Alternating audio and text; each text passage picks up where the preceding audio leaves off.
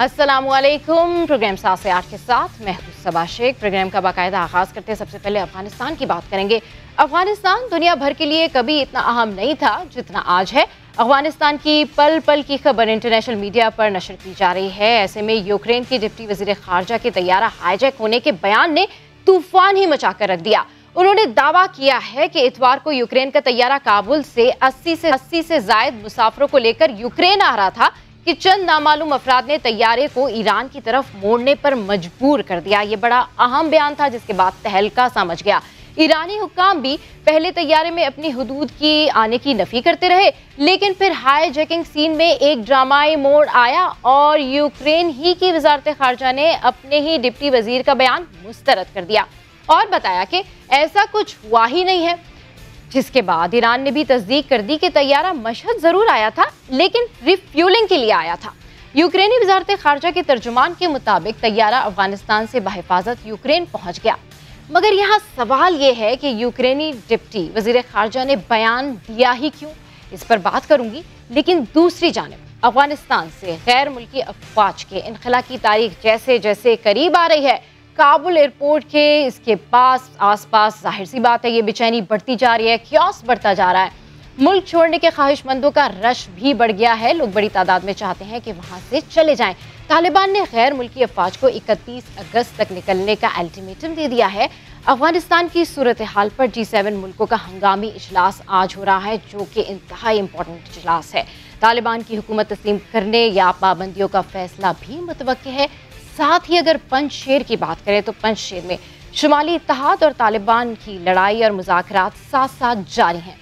बरतानवी अखबार का दावा है कि अहमद मसूद हथियार डालने की तैयारी कर रहे हैं। साथ ही तालिबान ने अहम वजारतों के लिए तकरियाँ कर दी हैं, जिसमें वज़ीर ख़जाना, कायम मुकाम वजी तालीम, कायम मुकाम वजी दाखिला और इंटेलिजेंस चीफ समेत मरकजी बैंक के सरबरा का तकर्र कर दिया गया है। ये इंपॉर्टेंट तकरियाँ हैं कि जो कि की गई हैं। इन सब में एक हाई लेवल मीटिंग जिसकी बाज गश सुनाई दे रही है, जो इंतहाई अहम किरदार अदा कर सकती है। सारी सूरत हाल में इंटरनेशनल मीडिया के मुताबिक C I A director William Burns ने गुजशत रोज़ मुला ब्रदर्स से मुलाकात की है। आखिर अमरीका कौन सी नई खिचड़ी पका रहा है? अमेरिका के थिंक टैंक में क्या कुछ चल रहा है? ये मुलाकात कितनी ज़्यादा इंपॉर्टेंट है?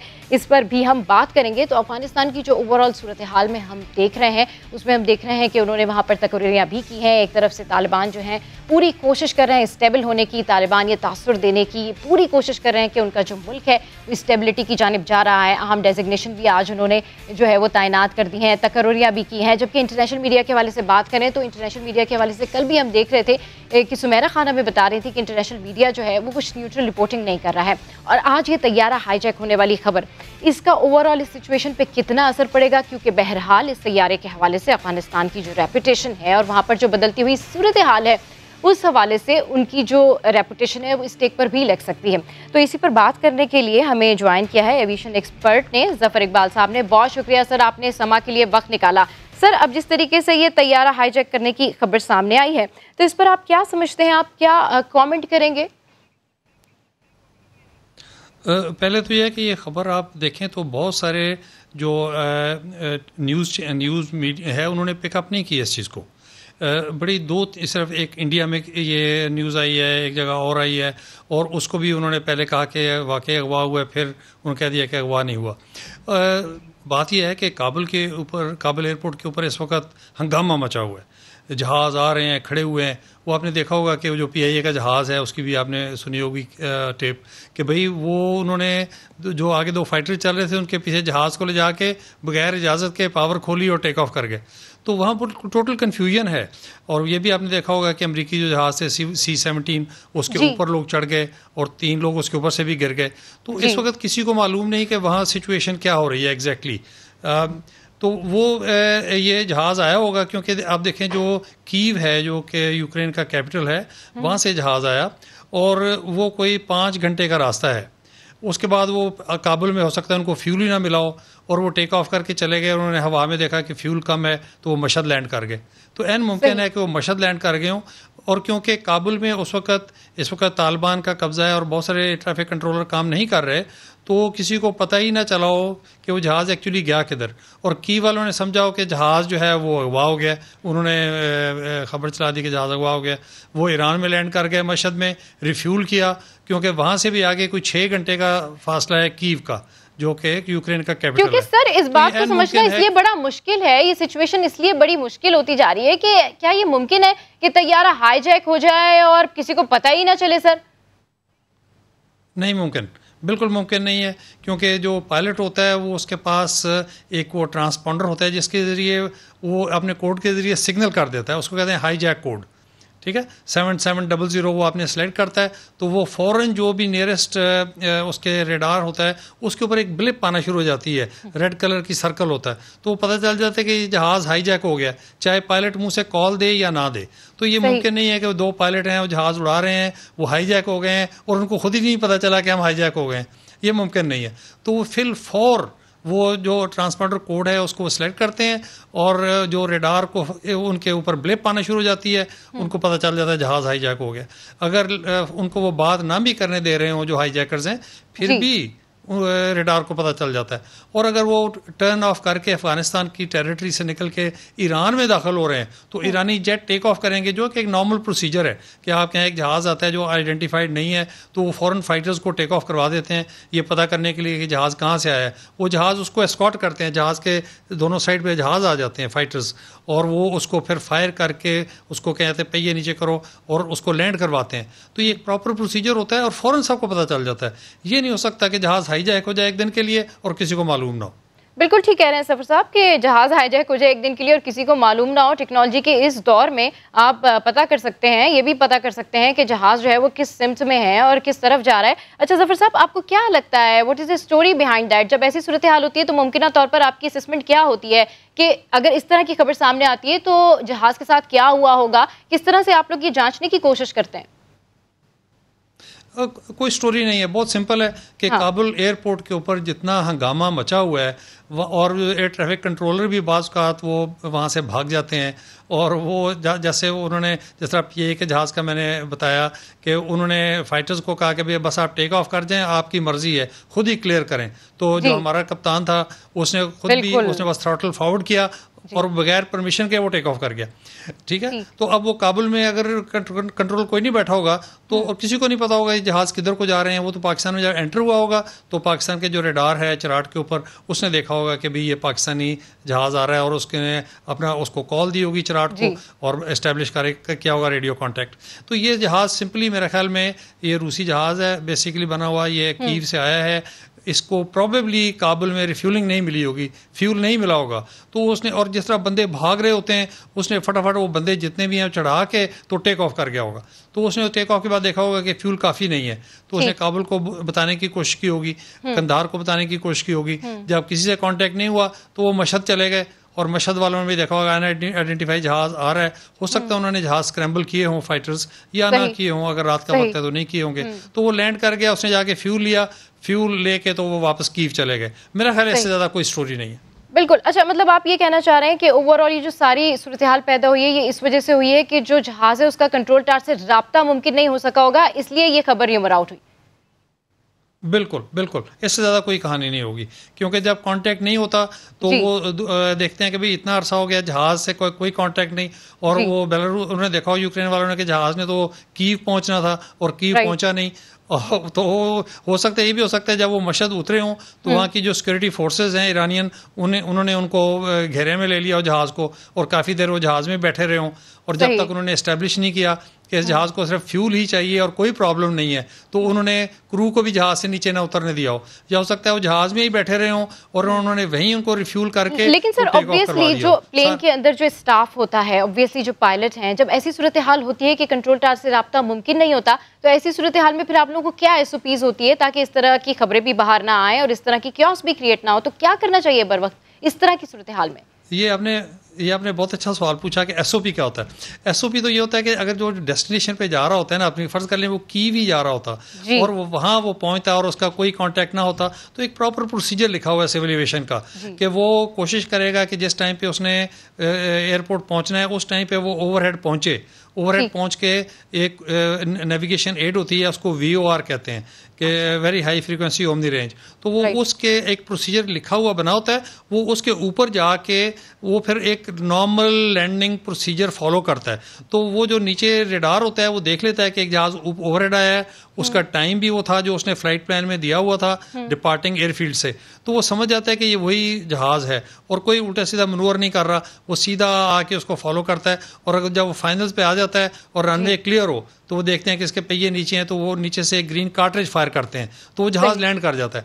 अगर नीचे जहाज़ नीचे कोई और ट्रैफ़िक हो कोई और जहाज़ खड़ा हो तो या वो चाहें कि अभी लैंड ना करे तो वो रेड कार्टरेज फायर कर देते हैं। तो वो गो राउंड कर जाता है दोबारा वापस आके लैंड कर जाता है।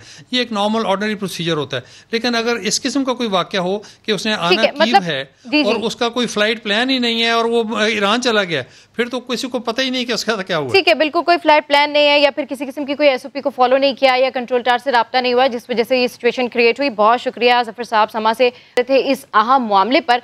एक और अहम मामला है, जिसकी तरफ़ बात करेंगे। मरियम की मिलियन डॉलर्स की प्रॉपर्टी सामने आ गई। मालूम हुआ कि मरियम का अमेरिका में महँगा तरीन फ्लैट है। अकाउंट में लाखों नहीं, करोड़ों डॉलर्स हैं।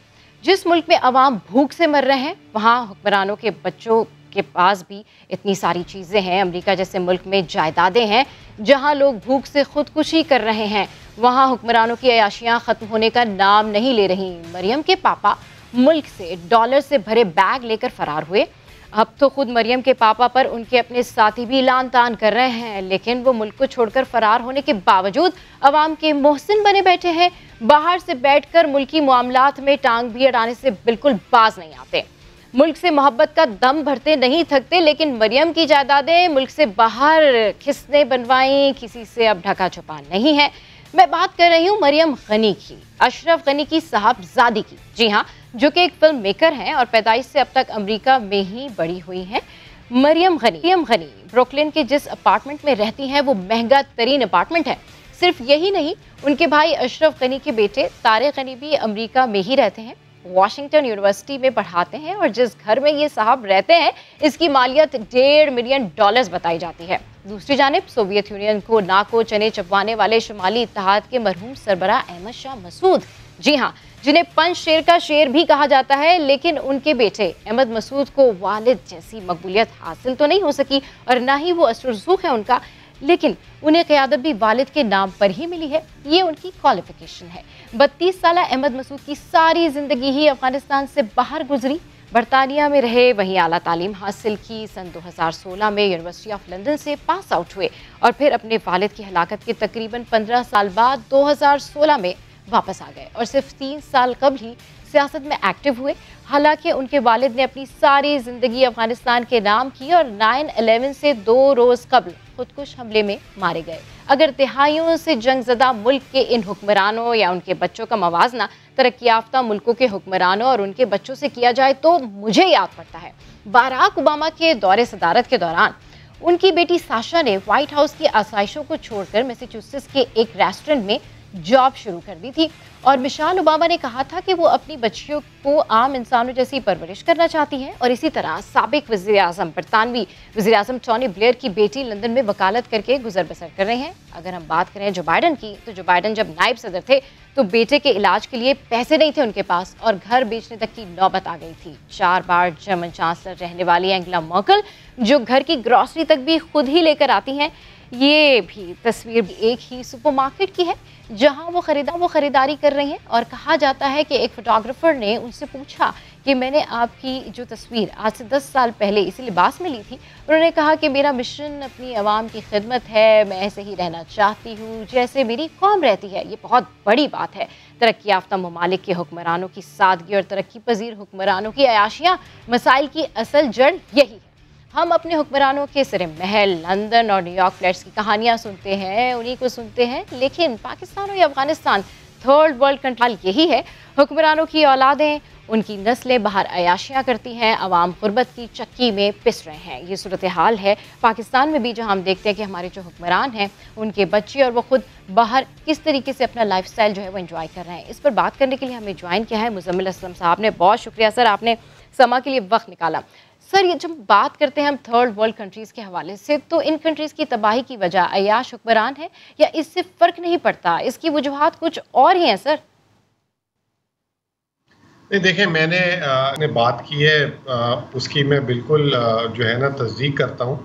और आ, मैंने दो दिन पहले जब 22 अगस्त को जो है लंदन में एक शादी हो रही थी तो मैंने ये बात बोली थी कि जिस दिन हमारे हुक्मरान अपने बच्चों की शादियाँ आम घरों आम घरों में करने लग देंगे लग जाएँगे या शुरू हो जाएँगे तो समझो हमारी कौम की तकदीर बदल गई। और इत्तेफाक की बात है कल रात को ही मैं ट्विटर में या कहीं पे देख रहा था सोशल मीडिया में बिलावल और बख्तावर जब बहुत ही छोटे थे मतलब गोद के बच्चे थे तो उन दोनों के लिए फिलिपिनो नैनी थी जो उनके उनको जो है वो उनकी लुक आफ्टर करी थी। तो ये जो लग्जरीज हैं ये सिर्फ़ अगर आप कह लें कि ये जो तबाहशुदा ममालिक गरीब ममालिक उनके जो है अमीर हुक्मरानों के लिए हैं। हम्म। और वो जो अमीर हुक्मरान जो है उनके लाइफ स्टाइल में नज़र आता है लेकिन अगर जब उनके असासे देखे जाते हैं जब वो जो है टैक्स वालों के पास जमा कराते हैं तो ऐसे लगता है कि इनसे ज़्यादा कोई गरीब नहीं है। लेकिन उनकी जो रिहाइश उनके जो नौकर चाकर उनका जो उठना बैठना जो उनका घूमना फिरना उनकी जायदादें वो जो है उसकी दूसरी तरफ़ तस्वीर दिखाती है। लेकिन इन ममालिक को हमेशा से जो है आपने देखा होगा एक वर्ड बड़ा मशहूर है जो मैंने कभी भी मैं खुद वेस्ट में पढ़ा हुआ भी हूँ बरतानिया में। जी जी। मैंने कभी नहीं सुना सिंपति कार्ड कभी भी वहाँ नहीं सुना। यहाँ पे जो है हमेशा से आपको याद होगा आप अक्सर प्रोग्राम जब करती होंगी तो आप देखती होंगी कि जो कोई लीडर अरेस्ट हो जाए वो कहते हैं चलो जी इसको सनत मिल गई अब ये अगला वज़ीर आज़म या सदर बन जाएगा। Exactly. तो क्योंकि क्यों कि जी sympathy card sympathy card play कर लिया आपने। महरूमियत और ये आके महरूमियत प्ले करते हैं और जो है आ, हम बेवकूफ़ बनते रहते हैं। एग्जैक्टली exactly, सर जी जी।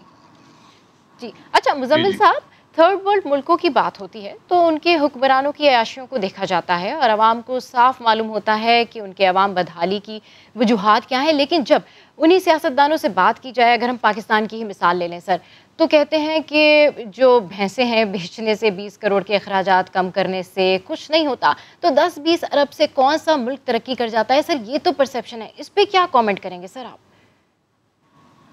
देखिए बात यह है कि आप यहाँ दस बीस करोड़ की बात कर रही हैं। हाँ। दो तीन दिन पहले जो है वो शहबाज शरीफ साहब का एक कोई केस खुला पिंडी की नैब का जिसमें ये बोला गया कि एहसन इकबाल साहब के भाई को जो है हॉरिकल्चर का वो जो वहाँ के पौधों का ठेका मिला। तो एहसन इकबाल साहब बात की कि जी ये पैंतालीस लाख की अब हाल ये हो गया कि पैंतालीस लाख की करप्शन के लिए भी पूछा जाता है। तो बात ये कि बाहर के मुल्कों में अगर आप चले जाएँ तो अगर आपको पता है ये जो ओबामा आपने अभी बताया था तो ओबामा जो है अपनी ग्रोसरी का जो मेहमानों की ग्रोसरी जो व्हाइट हाउस में वो अगर कोई इनको मेहमान पर्सनल जाति मिलने आ जाता था उसका बिल भी वो अपनी जेब से देते थे।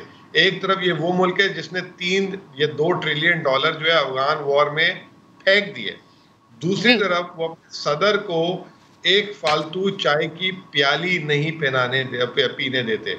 तो ये जो माइंडसेट है ये ये माइंडसेट ये इजहार करता है कि इनके नज़दीक वैल्यू ऑफ़ मनी नहीं है। और ये जो है पैसे को समझते हैं कि ये हमारी जागीर है और इसमें हमारा हक है। मुझे अच्छी तरह याद है जब जरदारी साहब सदर थे हम्म। तो सिंध में जो है आई फौज एक दफ़ा क्योंकि सिंध के हालात भी ख़राब थे तो आ, उनके साथ बैठी गवर्नर हाउस सिंध में। तो उन्होंने कहा कि भाई ये जो करप्शन है ना ये आप छोटी मोटी करप्शन को जाने दें नजरअंदाज कर लें। यही चीज़ जो है हमजा शहबाज ने भी बोली कि बगैर करप्शन के जो है आ, मतलब हुकूमत चलाना मुश्किल काम है। और नवाज़ शरीफ साहब के बारे में बोलते थे खाता है तो लगाता तो है ना। Exactly, तो देखें ये अगर माइंडसेट आप क्रिएट और ये आवाम का भी बन चुका है अनफॉर्चुनेटली आवाम के लिए क्या फ़र्क पड़ता है? लेकिन मैं समझता हूँ कि हम्म। जो ईमानदारी है वो इतनी अहम चीज़ है हम्म। कि अगर आप छोटी रकम में ईमानदारी को समझते हैं कि ये तो बहुत छोटी रकम है कोई बात नहीं तो वो आहिस्ता आहिस्ता जहर पूरे जिसम में फैल जाता है और जब वो फैल जाता है तो आपको बड़ी बड़ी भी जो जिसे कहते हैं करप्शन और बेईमानी जो है हम्म। वो ऐसे लगता है कि ये तो हमारा हक है हमारा राइट है और ये हमारी कौम के अंदर सराहियत कर गया अनफॉर्चुनेटली आप हर बंदा देख लें चाहे आम मतलब सिविलियन से हो वो रिश्वत सरकारी मुलाजिम को देने में कोई ऐप नहीं समझता सरकारी मुलाजिम रिश्वत लेने में कोई ऐप नहीं समझता।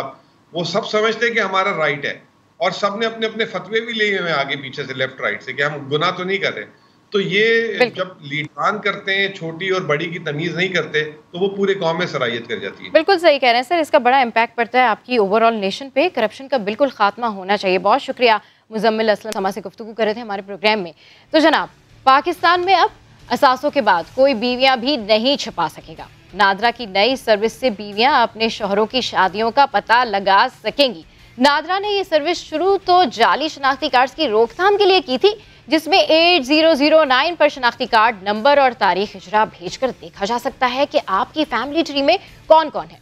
अगर आपकी फैमिली में में कोई अनजान शख्स आ रहा है तो नाजरा को रिपोर्ट किया जाए ताकि जाली शनाख्ती कार्ड बनाने वाले के खिलाफ कार्रवाई की जा सके। लेकिन नादरा की जानब से जैसे ही ये सहूलत मुतारफ करवाई गई तो सोशल मीडिया पर नया ट्रेंड शुरू हो गया, जिसमें कहा गया कि किसी शख्स ने कितनी शादियाँ कर रखी हैं, कितनी बीवियाँ हैं, अब तो ये भी मालूम हो जाएगा। यकीनन जिसने एक से ज़्यादा शादियाँ कर रखी हैं और पहली बीवी को इसका मालूम नहीं है तो उनके लिए ज़रूर परेशानी का बायस होगा। लेकिन कुछ लोग तो सोशल मीडिया पर यह भी कह रहे हैं कि अब शोहर जो हैं, वो अपनी दूसरी बेगमात का शनाख्ती कार्ड ही अपने नाम से अपडेट नहीं करवाएँगे।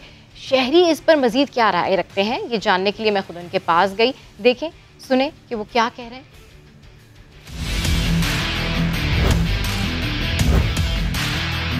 नादरा की तरफ़ से ये एक नंबर दिया जाएगा जिस पे आपका आईडी कार्ड डाल के अब ये पता चल जाएगा कि आपकी फैमिली ट्री में कौन कौन है मतलब आपके बीवी हैं और तो इससे ये भी पता चल जाएगा कि आपकी कितनी बीवियाँ हैं। तो कैसे देख रहे हैं आप इस एग्ज़ाम वो तो किया हुआ है शादी तो फिर लाजमी बात है पता होना चाहिए सबको। ठीक है तो आपको लगता है अच्छी बात है ये? अच्छी बात है बिल्कुल। दो हो चार हो पाँच हो जो भी हो ज़ाहिर होनी चाहिए। ये तो अच्छी बात है तो मैं घर पे जाके चेक करूँगा और अब्बू का भी ना ऐसी चेक करूँगा अपने भाइयों का भी करूँगा। क्या पता उन्होंने शायद छुप कर शादी करी हुई हो। तो अब्बू का भी जाके करेंगे? बिल्कुल अब्बू का भी जाके अम्मी को बताएँगे जाके बिल्कुल बताएँगे अम्मी को भी बताएँगे और अपनी जो मेरी बहनें शादीशुदा हैं उनको भी बताएँगे कि अपने शोरों का भी ना ऐसी चेक करवाएँ कि उन्होंने कितनी शादियाँ करी हुई छुप कर या नहीं करी हुई अगर ये डिस्क्लोज हो गया तो फिर काफ़ी फड्डे हो जाएँगे। ऑलरेडी हम लोग बड़ी प्रॉब्लम में। नहीं मेरे शोहर बहुत शरीफ है। वो ऐसा कोई काम नहीं करते और मुझे नहीं पता करना। जो इनके शोहरों ने की होगी उन्हें पता चल जाएगा। वैसे तो ये बहुत अच्छा है। इससे मतलब ये है कि जितने ये फ्रॉड केसेज हो रहे हैं वो सारे जो है रिपोर्ट होंगे और उससे फ्रॉड केसेस रुकेंगे। तो जिन लोगों ने दो शादियाँ की होंगी उनका भी पता चल जाएगा। ज़ाहिर सी बात है जो मतलब फ्रॉड कर रहे हैं उनके लिए तो पता चल जाएगा। जिन्होंने यहाँ बता के की हुई है कुछ ने तो बता के उनके लिए कोई मसला नहीं है। इस्लाम में तो चार भी जायज़ है तो इसमें तो कोई वो नहीं है ना। इस्लाम में तो अगर कोई बंदा मुसलमान है तो चार भी जायज़ कर सकते हैं तो इसमें कौन? आपने कितनी की मैंने तो एक की हुई ये तो उनके लिए मसला होगा जो मतलब डर रहे बीवी से डर रहे उनके लिए मसला होगा उनका राज अफशा होगा। ये सहूलत जो नादरा ने दी है ये अच्छी सहूलत है इससे पता चल जाएगा कि ये इसके जो कार्ड है, एक बना हुआ है, दो बना है। शादी का भी पता चल जाएगा। बाद लोगों ने दो दो, तीन तीन शादियाँ की होती हैं और फिर कहते हैं, हमारी शादी नहीं हुई। तो आपने सुना कि कराची वाले इस पर क्या कह रहे हैं? मुख्तलिफ़ राय हैं। कोई कह रहा है, ये बड़ा पर्सनल मामला है। कोई कह रहा है, नहीं, ठीक है। और कोई तो ये भी कह रहा है, अब जाके हम घर पे अपने फादर के बारे में भी पूछेंगे, अपनी बहनों के बारे में बताएँगे। लेकिन लाहौर में इस पर ओवरऑल क्या राय है, ये भी हम आपको बताएँगे। तो ये जो इकदाम है इससे सोशल मीडिया पर भी एक ट्रेंड जारी है और ओवरऑल जब मैं सबके पास गई तो मैंने बातचीत की तो कुछ लोग तो ये भी कह रहे थे कि अच्छा ये तो हमारा बड़ा पर्सनल मामला है, अब ऐसा होगा। और कुछ लोग प्रोसेस भी पता कर रहे थे, जबकि कुछ लोग काफ़ी हैरान थे हैरान थे। तो ऑब्वियसली कोई भी सर्विस जब हमें दी जाती है तो हमारे फ़ायदे के लिए होती है, हमारे लिए बेनिफिट के लिए होती है और ये बड़ी बेनिफिशियल सर्विस है ताकि जो जाली शनाख्ती कार्ड्स हैं, उनकी रोकथाम का सिलसिला जारी किया जा सके। हम आए दिन सुनते हैं कि लोगों ने जाली कार्ड्स बनाए हुए हैं, जिसके ऊपर कई प्रॉपर्टी का बिज़नेस होता है। लोग लोगों को धोखा देते हैं, लेकिन अब जब ये सर्विस लॉन्च की गई है नादरा की जानब से तो शहरी इस पर मुख्तलिफ़ राय रखते हैं। एंड आई एम श्योर कि जो हमारे पॉलिटिशियन हैं, उनका भी हम ज़रूर आपको बताएँगे कि उनकी इस बारे में क्या राय है। लेकिन लाहौर के लोग इस बारे में क्या राय रखते हैं, ये भी हम आपको बताएँगे। और ओवरऑल जिस जिसको ये खबर पता है, हम आपको बता रहे हैं ओवरऑल इस हवाले से कि नादरा ने ये सर्विस लॉन्च की है। इस सर्विस के हवाले से अगर हम बात करें ओवरऑल तो मैं आपको बताऊँगी कि इस सर्विस का मकसद यही है कि आपको फैसिलिटेट किया जाए। लेकिन इस फैसिलिटेशन के पीछे जो ये सारे तमाम तर मामला हैं, ये सोशल मीडिया ट्रेंड है, इस पर लाहौरी क्या कहते हैं? ये देखते हैं शाहिन मिशाल की इस रिपोर्ट में। अगर आपकी एक बीवी लाहौर में, दूसरी बेगम कराची में, और अगर मन और धन इजाज़त दे तो तीसरी खुफिया बेगम फैसलाबाद में हो तो अब ऐसा नहीं चलेगा। कोई शादी खुफिया नहीं रहेगी। उसको कैसे पता चल जाएगा? ऊपर से कोई वही नाजल हो जाएगी उसको पता चल जाएगा। हो ही नहीं सकता कि मैं दूसरी शादी करूँ और उसे पता चल जाए। तो क्या वो जादूगर नहीं है? सामने जाकर बीवी को पता लग जाएगा जी जनाब नादरा जानता है आपकी ऐसी हर चाल का हाल। आपकी बेगम साहिबा जब चाहे एट डबल ज़ीरो नाइन पर आपका शनाख्ती कार्ड नंबर और तारीख इजरा लिख कर भेजेंगी और एक मैसेज पर खानदान की तमाम तफसीलात सामने आ जाएँगी। किसकी कितनी बीवियाँ, बहन भाई और कितने बच्चे हैं कुछ छुपा नहीं रहेगा। फिर जूतियाँ कहानी है पहली वाली से। इस चीज़ को ख़त्म करें। सौ मामला तो होते हैं बंदे के बाहर। ठीक है? तो प्लीज़ इस चीज़ को खत्म करें। मैं इस चीज़ से खुश नहीं हूँ। शोहर हजरात तो परेशान हैं मगर बीवियाँ हुकूमत के इस इकदाम पर खुश हैं। I guess so it's a good initiative you should get to know अगर आपके हस्बैंड इतने सपोर्टिव नहीं है कि वो आपको अपने कान खुद बताएँ। हुकूमत ने जो भी ये तरीका निकाला है अच्छा निकाला है कि पता चल जाए आपके शोहर क्या कर रहे हैं क्या छुपा रहे हैं क्या कर रहे हैं। अगर खानदान की फहरिस्त में कोई अजनबी या गैर मुतलका फर्द मौजूद होगा तो एक लिख कर मैसेज का जवाब देने से मसला हल हो जाएगा। लेकिन ज़रूरी है कि मैसेज नादरा से रजिस्टर्ड मोबाइल नंबर से ही किया जाए। कैमरामैन लियाकत बशीर के साथ शाहीन निशाल समा लाहौर। और शुक्र है अल्लाह, मैं भी बच गया। तो आपने सुना कि शहरी ओवरऑल सूरत हाल पर क्या राय रखते हैं? प्रोग्राम में यह वक्त एक ब्रेक का स्टे विद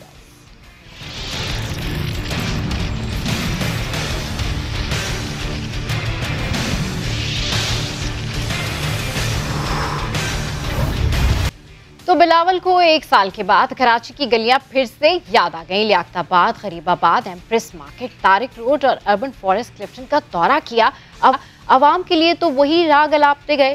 कराची में फंड्स की कमी है, तहरीक इंसाफ और एम ने कुछ नहीं किया। मगर फिर से ये नहीं बताया कि इन पंद्रह सालों में जनाब खुद ने क्या किया। बिलावल के दौरे से अवाम को कुछ मिला हो या नहीं मिला हो, इसके बावजूद कराची वालों की शदीद चाहत ये होगी कि बिलावल कराची को कुछ दें या ना दें, लेकिन हर हफ़्ते शहर का दौरा ज़रूर करें। हज़रत के दौरे से कम से कम गलियाँ तो साफ़ हो जाती हैं, सड़कों पर ट्रैफ़िक सीधा चलता है, कोई अहलकार नींद के मज़े भी नहीं ले पाता, और तो और कई गलियों में सदियों का कचरा जो पड़ा होता है, वो भी साफ़ हो जाता है। बिलावल कहते हैं कि वो शहर कायद को बेहतरी की तरफ़ ले जा रहे हैं। आवाम से अपील है कि उनका साथ दें और हमारे साथ ताउन करें। तो इनके इस दौरे पर, इनकी इस बातों पर हमारे साथ बात करने के लिए मौजूद है हमारे नुमाइंदे संजय साधवानी। संजय, ये सडन क्या हुआ बिलावल को? कि कराची की याद आ गई। कंटोनमेंट में बल्दिया, में बल्दियाती इंतबात हैं। क्या ये भी इसकी तैयारी है कि पहले दीगर इलाकों के विज़िट कर लिए जाएँ और फिर कंटोनमेंट एरियाज़ में जाया जाए ताकि कोई तनकीद ना हो सके? देखिए बिलावल की नज़रें मेरे ख्याल से कराची के बल्दियाती इलेक्शन पर हैं, जिसकी वजह से वो कराची के जो ऐसे इलाके जहाँ पर एम क्यू एम या पाकिस्तान तहरीक इंसाफ की हुकूमत रही है, उन इलाकों को तरजीह दे रहे हैं। आज वो ज़िला वस्ती गए, जब ज़िला वस्ती के इलाके लाकताबाद में गुजरे हैं तो सिंधी होटल के इतराफ़ के जो इलाके हैं, वहाँ पर कई सालों का कचरा जो है वो जिम्मा था, वो कचरा नहीं उठाया गया था। खुद वज़ीर सिंध गाड़ी ड्राइव कर रहे थे और गाड़ी जब इस तरफ़ मोड़ी गई सिंधी होटल की तरफ़ तो इतराफ़ की जो सड़कें हैं दोनों तरफ़ जो है वो उन पर कचरा सड़क पर मौजूद था। एक जो ट्रैक पूरा वो कचरे से भरा हुआ था। तो ये इन गलियों में जब बिलावल गए और उनको कहा है वजीला को कि यहाँ से सफ़ाई करें लेकिन कराची वाले उस वक्त जहाँ पर मौजूद थे वो यही चाह रहे थे कि काश बिलावल रोज़ इन गलियों में आए कम से कम यहाँ पर सालों से पड़ा हुआ कचरा साफ़ हो। वजी ने उनको ये ब्रीफिंग दी है कि अब सॉलिड वेस्ट के हवाले ज़िला बस्ती की कचरे को उठाने का ठिका दिया गया है। अब वो ये गलियाँ साफ़ होंगी। लेकिन साफ़ हो ना हो, लेकिन कराची वाले ये उम्मीद लगा रहे हैं कि कम से कम कराची में काम करें। तेरह साल से आपकी हुकूमत है, कराची में पानी का मसला है, सेहत के मसाले हैं। तो अब बिलावल भुट्टो का दौरा तो आज कराची बिलावल हाउस से शुरू हुआ जो पहले तारिक रोड पर गए वहाँ पर नकाती आपके सूरत हाल का जायज़ा लिया जिसके बाद बस्ती को उन्होंने फोकस रखा बस्ती में तीन मकाम पर वो खुद रुके और जायज़ा लिया। फिर एम्प्रेस मार्केट आए और क्लिफ्टन अर्बन फारिस ले। आज उन्होंने पौधे भी लगाए लेकिन लोग यही कह रहे हैं कि अगर तेरह साल पहले ये पौधे लगा दिए जाते होते तो आज ये तनावर दरख्त होते और कराची में जो पोल्यूशन का मसला है वो बिल्कुल ठीक कह रहे हैं Sanjay it seems like that that he cares allot lot इस पर मजीद बात करने के लिए हमें ज्वाइन किया है। सिंध हलीम आदिल शेख ने बहुत शुक्रिया, सर, आपने समा के लिए वक्त निकाला। अलीम साहब, बिलावल भुट्टो ने गली गली घूमकर इमरान खान से वही सवाल किया कि कहाँ है, क्या है, ग्यारह सौ अरब रुपए, क्या कहेंगे, सर, आप इस पर? मैं कहना चाहता हूँ कि कुफ्र टूटा खुदा खुदा करके, और बिलावल जरदारी साहब से मैं कहता हूँ कि झूठ बोलते हुए थोड़ा सा थोड़ा सा, वो आप तो ख्वाजा आसिफ वाली बात से मैं कहूँगा कि थोड़ी सी हया और शर्म वाली बात कर लिया करें ग्यारह सौ अरब रुपए में से साढ़े चार सौ अरब गवर्नमेंट ने खर्च करने थे और सवा छह सौ अरब हमारे जिम्मे थे। उसमें से तीन नाले हमारे जिम्मे थे, बड़े अलहमदुल्ला, अस्सी फ़ीसद काम उसका हो चुका। अभी इंशाल्लाह अक्टूबर में ग्रीन लाइन की बसेस कराची में दौड़ती हुई नज़र आएँगी। तेरह साल में बिलावल जरदारी ने एक बस कराची को नहीं दी। कराची को एक बूंद तेरह साल में इन्होंने नहीं दिया और के फोर का प्रोजेक्ट वफाक की जानब से जो ग्यारह सौ अरब में से सवा छह सौ अरब थे, वो वापदा के हवाले हो चुका। केसीआर और फ्रेट टर्मिनल पे काम शुरू हो चुका। मैं पूछना चाहता हूँ कि इन्होंने तेरह साल में क्या किया? आज तेरह साल बाद की दौड़े तो लग गई हैं। अच्छे वो कराची के रोडों पर भी दौड़ते हुए नज़र आए हैं। और तेरह साल बाद आज को पीछे तेरह साल में एक बस दिया आपने, एक घूट पानी दिया आपने। कराची को दुनिया का दसवां गंदा तरीन शहर बना दिया आपकी हुकूमत ने। कराची के साथ आपने सिर्फ़ माल कमाया माल खपे और इमरान खान ने कहा। आज ऑरेंज लाइन की बसेस भी ऑरेंज लाइन का वो ट्रैक बनाया हुआ है। बसेस भी S I D C L से कहा है कि हमें परचेज करके दो। बिलावल हाउस का आग वज़ीर आज़म के फायर टेंडर ने बुझाई है जिस पे वज़ीर आज़म की तस्वीर लगी थी। इनके पास तो शहर जलता होता था फायर ब्रिगेड नहीं थी। बिलावल हाउस जिस दिन सुलग रहा था उसको उसकी चिंगारियों को आज़म के फायर ब्रिगेड ने बुझाया है। आज ये ड्रामेबाजी टोपी ड्रामे के लिए निकले। तेरह साल में इन्होंने सिंध को तबाह बर्बाद कर दिया। इन लोग के लोगों को एक वैक्सीन नहीं दी है। कोविड की वैक्सीन नहीं दी कुत्ते की वैक्सीन नहीं दी एड्स की इलाज नहीं किया। और अब कहते हैं कि हम आके इमरान खान से सवाल करते हैं हम बुरावल से सवाल करते हैं। तेरह साल से कहाँ थे ये दौरों से ये गाड़ियों से ये टोपी ड्रामे से ये फ़िल्म बनाने से कुछ नहीं होगा। लोग पूछेंगे कचरा कुंडी बनाने के जिम्मेदार बिलावल सरदारी हैं। इस शहर को गटरिस्तान बनाने के जिम्मेदार बिलावल अच्छा सर तहरीक इंसाफ सिंध को फतह करने की तैयारी कर रही थी तो बिलावल ने कराची पर नज़रें जमा ली हैं। सिंध में बल्दियाती इलेक्शंस को उन्होंने मरदमशुमारी की गलतियों के दुरुस्त होने से मशरूत कर दिया है सर। बात यह कि इन्होंने अपने एडमिनिस्ट्रेटर लगा दिए हैं। इन्होंने सिर्फ़ पहले थोड़ा बहुत पैसा कहीं के एम में लग जाया करता था अगर लगता था। वो भी इनके अब वो जाली अकाउंट में चला जाएगा वो भी अभी यूनिट सिस्टम में चला जाएगा वो भी अभी इनके जो बिलावल हाउस और हजारी ग्रुप के अकाउंट में चला जाएगा। मैं कहना चाहता हूँ कि इन्होंने क्या सारे अभी स्टेटस सरकारी लगा दिए हैं पहले प्राइवेट लोग लगा दिए हैं वो मुर्ता वहाब साहब एडवाइजर भी हैं वज़ीर भी हैं एडमिनिस्ट्रेटर भी हैं एक रिजेक्टेड शख्स को कराची का एडमिनिस्ट्रेटर लगा के कराची के माल पे कब्जा करने की कोशिश की जा रही है। इनका फार्मूला माल खपे माल खपे माल खपे और बात यह कि ये लोकल गवर्नमेंट सिस्टम हम तो कहते हैं कि इन्होंने सारा मतलब सब कुछ सूबे के अंदर ले गया वाटर बोर्ड सूबा सॉलिड वेस्ट सूबा कचरा उठाना वजीराला काम गटर साफ़ करना वजीराला काम। अच्छी बात इमरान साहब निकले अब कराची के गटरों से मुराद अली शाह के साथ साथ बिलावल की तस्वीरें भी लगेगी। क्योंकि लोग पूछेंगे कि देख के गए हो आओ अब मैं कहना चाहता हूँ अब तीन तस्वीरें लगनी चाहिए कराची के जो खुले हुए गटर जो कचरे जो ये खड़े हुआ क्या शहर जो उन्होंने बना दिया इस शहर के साथ जुलम किया है इन्होंने शहरियों के साथ जुलम किया है और इस शहर को इन्होंने गेंदबाज पाली है इस शहर में इन्होंने फत्ते कतले कराए हैं इनका जो है शहर के खून में इनके हाथ रंगे हुए इनके ये बात करते हैं कराची की इस शहर को इन्होंने शहरियों से जुलम किया है इन्होंने किस पीछे निकल रहे हैं लाड़काना को एक लगाने के बाद कराची में एक लगाएँगे। लाड़काना को कुत्तों से कटवाने के बाद कराची को कुत्ते कटवाएँगे इन्होंने क्या किया? लाड़काना को कुछ नहीं किया। Sir apart from these issues वो ये कहते हैं कि कराची की बेहतरी के लिए काम कर रहे हैं। दस सालों में कराची काफ़ी बदल गया कराची बदल गया। जी यस कराची बदला है। कराची दुनिया के दसवें गंदे शहर में आ चुका है। दस साल में कराची बदला है। कराची में एक बारिश के अंदर पूरे गटर और गटरों से कराची बह जाता है। बिल्कुल कराची का बदला है। कराची के हद चौरंगी पर कचरा पड़ा हुआ नज़र आ रहा है। बिल्कुल कराची बदला है। कराची में दस साल में तेरह साल में एक पानी नहीं मिला बिल्कुल कराची बदला है। कराची के अंदर की तालीम बिल्कुल खत्म हो चुकी है। बिल्कुल कराची बदला है। कराची के अंदर इन्होंने पूरे ट्रक किस्म के पुलिस की माफिया कराची के अंदर लगाई है। क्या कराची बदल गया क्या ठीक हुआ? पानी मिला। बताएँ ना केफोर का क्या किया बताएँ ट्रांसपोर्ट का क्या किया बताएँ कचरे का क्या किया कचरे के अंदर भी इन्हें पैसा चाहिए इन्हें मतलब गटरों में से भी पैसा चाहिए इन्हें पानी दे सकते हवा से नहीं दे सकते। हवा के अलावा हर चीज़ के अंदर इनको कमीशन चाहिए। कराची ने क्या बदला तेरह साल में इन्होंने शेयर क्या किया पूरे दिन को तबाह किया। कराची मतलब बिल्कुल दस साल में जहाँ इन्होंने कहते तेरह साल में कराची की तीस परसेंट है। कराची से सिंध का नाइन्टी परसेंट सिंध का रेवेन्यू कराची जनरेट करता है और डेवलपमेंट बजट में थ्री परसेंट कराची पे खर्च होता है सेवन परसेंट कराची से बाहर खर्च होता है। बिल्कुल ठीक कह रहे हैं बिल्कुल ठीक कह रहे हैं सर। कराची रेवेन्यू जनरेट करके देता है। बहुत शुक्रिया। अली मदिल शेख साहब इसाम इशू प्रोग्राम में गुफ्तु कर रहे थे।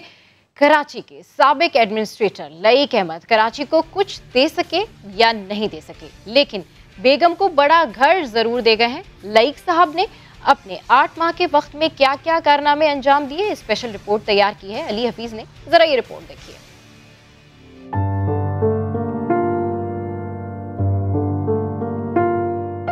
कराची का पोश तरीन इलाका क्लिफ्टन। शहर के पुराने दौलत बंदों का मस्कन है।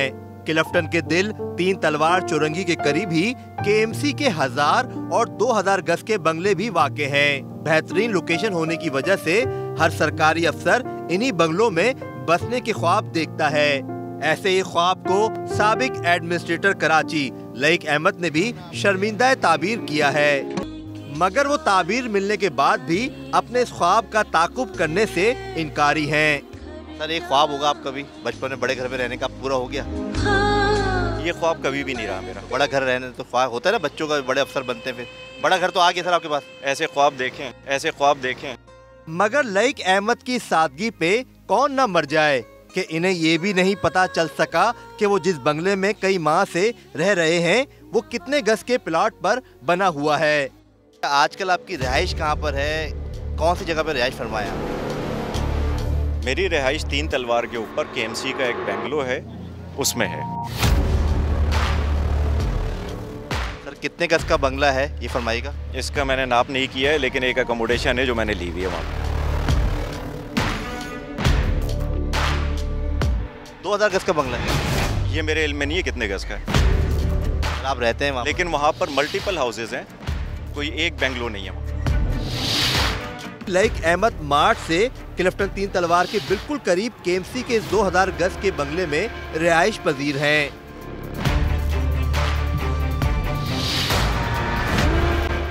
क्लिफ्टन के इस बड़े बंगले में रहने की ख्वाब की ताबीर के लिए लईक अहमद ने बहुत तिगड़म लड़ाए हैं। यानी सीधा दिल्ली जाने के बजाय बारहस्ता बठिंडा वो इस बंगले तक पहुँचे हैं। वो कैसे, हम आपको समझाते हैं। लईक अहमद को अंदाज़ा था कि वो एडमिनिस्ट्रेटर के ओहदे पर ज़्यादा देर बरा जमान नहीं रह सकेंगे।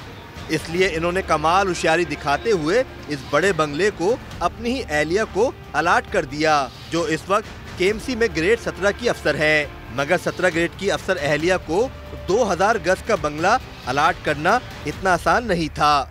लईक अहमद ने मुश्किल आसान करने के लिए केएमसी के अकोमोडेशन डिपार्टमेंट को कई माह ताले लगाकर रखा। अब हम मौकफ लेने आए थे कि डायरेक्टर से मालूम करने की घर किसको अलॉटमेंट हुआ है। बंगला नंबर एक, जहाँ पर एडमिनिस्ट्रेटर लईक अहमद साहब जो है रिहाइश पजीर हैं। उन्होंने किस तरह किसको ये जो है घर अलाट करके वहाँ पर रह रहे हैं जानने के लिए, हम मौकफ लेने के लिए। मुताली का डिपार्टमेंट और डायरेक्टर के पास आए थे, लेकिन यहाँ पर जो है इस वक्त कोई भी नहीं है। ताला लगा हुआ है कैमरामैन सनल्ला आपको दिखाएँगे। के हेड ऑफ़िस में मौजूद है। यहाँ पर ताला लगा हुआ है। अकोमोडेशन डिपार्टमेंट को ताला लगाकर रिकॉर्ड को कब्जे में रखना शायद इसलिए भी ज़रूरी था कि लईक अहमद ने अलॉटमेंट से पहले ही इस बंगले में डेरे डाल लिए थे।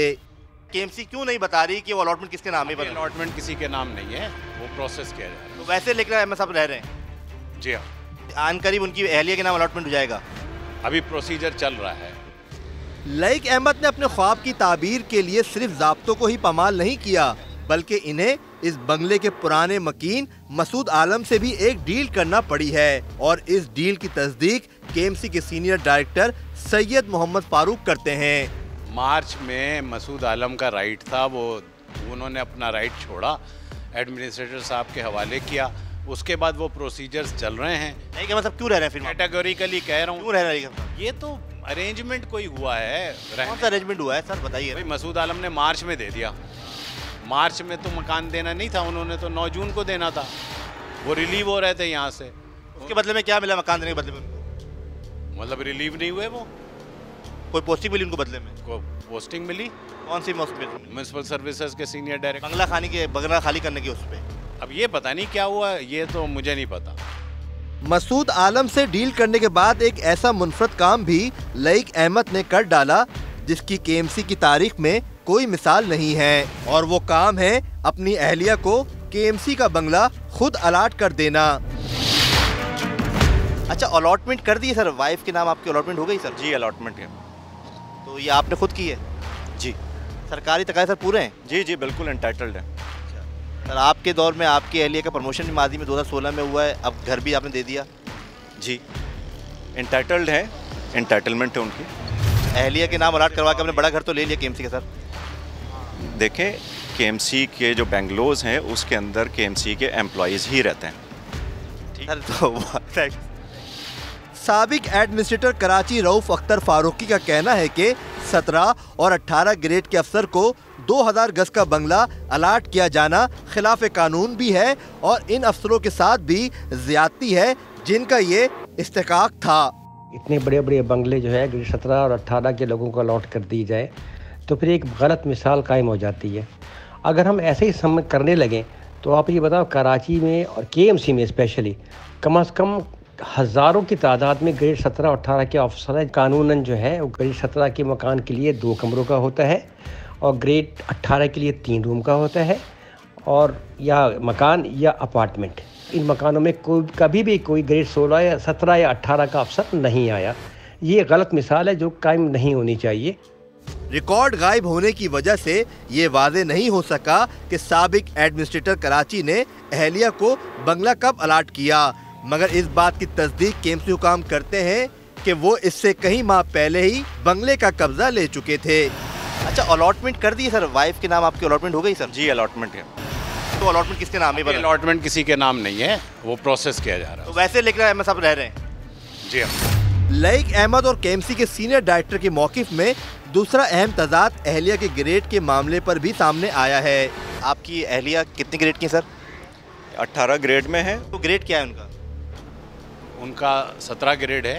समा ने यह मामला मौजूदा एडमिनिस्ट्रेटर के सामने भी रखा मगर वो अपने पेशरो लईक अहमद की इस वारदात से ही बेखबर निकले। उन्होंने अपनी अहलिया जो कि सत्रह ग्रेड की है वो बंगला अलॉट कर दिया जो कि बीस ग्रेड के अफसरान को दिया जाता है। मुझे इसके बारे में कोई इन्फॉर्मेशन है नहीं। आप के एम सी की इंतज़ामिया से पूछ सकती हैं एडमिनिस्ट्रेटर साहब से ख़ुद पूछ सकती हैं बट मेरे पास चूँकि कोई इन्फॉर्मेशन रेडली अवेलेबल नहीं है तो मेरे लिए कॉमेंट करना इस पर गैर मुनासिब होगा। अपनी अहलिया के ग्रेड के बारे में लईक अहमद जो भी दावे करें के एम सी के रिकॉर्ड के मुताबिक वो सत्रह ग्रेड की ही अफसर हैं और सरफराज रफ़ीकी अस्पताल में तैनात हैं। इनकी तनख्वाह की स्लिप भी यही बताती है कि वो अब भी ग्रेड सत्रह में ही हैं। मगर सैया कुतवाल हो और बड़े घर के ख्वाब को पूरा करने का जुनून भी हो तो कानून और जब्तों की परवाह कौन करता है? कैमरामैन मोहम्मद कामरान और सनल्ला डायरी के साथ मोहम्मद अली हफीज, समा कराची। तो आपने ये रिपोर्ट देखी और पीपल्स पार्टी जिस तरह दावे करती है कि कराची बदल रहा है डेवलपमेंट ला रहे हैं तो अब ये रिपोर्ट जो है, इसके बाद देखते हैं कि एडमिनिस्ट्रेटर मुर्तज़ा वहाब क्या करते हैं। बिलावल भुट्टो जरदारी, इस रिपोर्ट के बाद क्या कुछ बदलते हैं। प्रोग्राम सात से आठ से फ़िलहाल इतना ही। कल फिर हाजिर होंगे नई टॉप स्टोरीज के साथ। की वॉचिंग सात से आठ।